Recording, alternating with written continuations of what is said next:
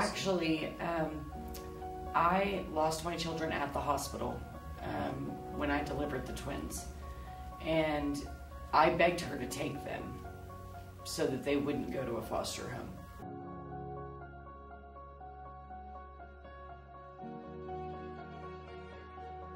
Um, but the one thing I had asked her when she took them was to protect them from the system and from the crazy life.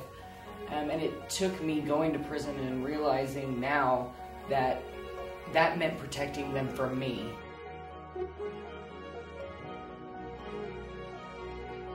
A lot of people are looking to adopt twins. It wouldn't have been a thing at all for those twins to be adopted by a family that none of us know and never see them again.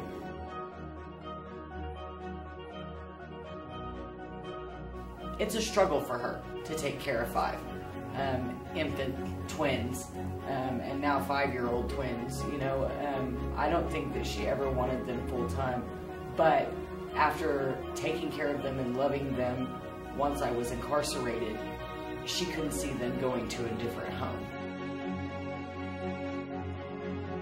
Uh, be there for them.